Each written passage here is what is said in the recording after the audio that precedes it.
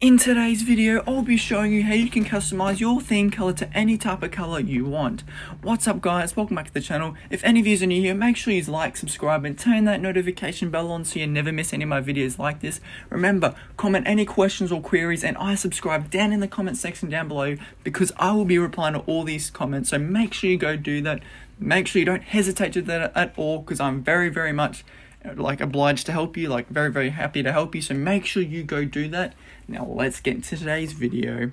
Now the first step you want to do guys is press your home button on your Xbox controller and head all the way down to settings. Once you're in settings you want to make sure you're in general, then you want to head over to personalization. Once you're in personalization you want to head to my color and theme.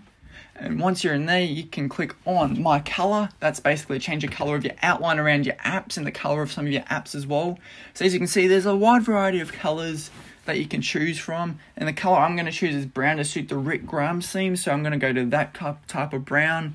As you can see, once I click on it, it will take a few seconds to roll over. And as you can see now, it's brown and the outline around like wherever I'm hovering over is brown as well.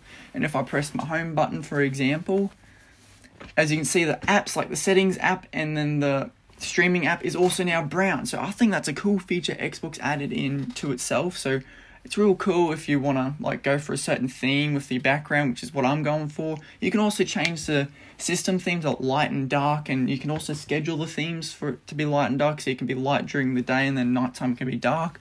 You can set it to like your certain sun, like your sunrise and your sunset times as well. So that's also cool. So if like like you basically program itself based on the time zone to its certain um basically when the sun goes up and the sun goes down. So it's pretty cool, but I prefer dark.